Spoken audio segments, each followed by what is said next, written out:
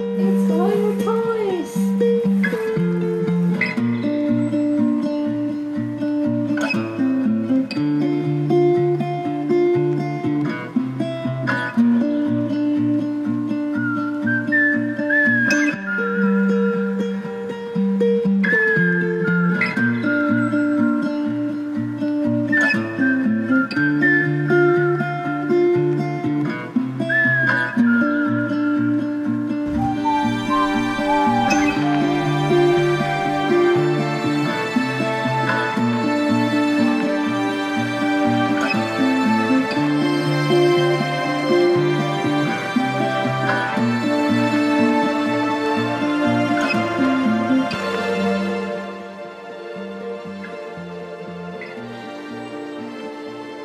So that is the so-called francesinha, which is a Portuguese specialty, Porto specialty actually.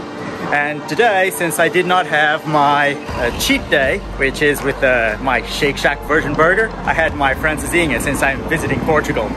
And that is amazing, but tonight I need to exercise a little bit just to compensate all those calories.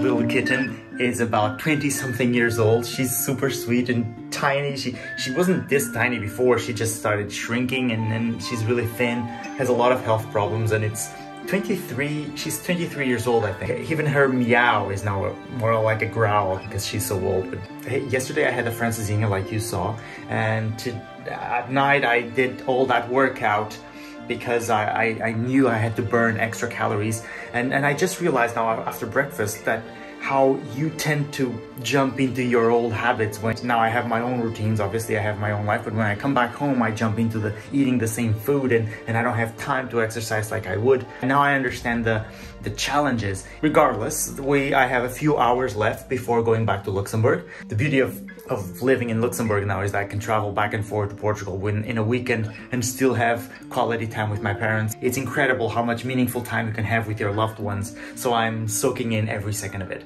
I'll drop you a few more images and if you like these videos, don't forget to subscribe and I'll keep you updated of how it is to build up your life and family in Europe after living seven years in China.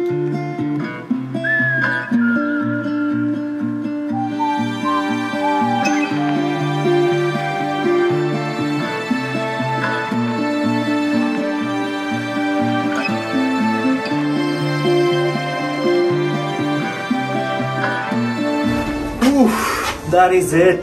This was a long ride from Portugal to Lux and then a full day of work. Ah, I'm exhausted. Mm-hmm. What happened here? Hello?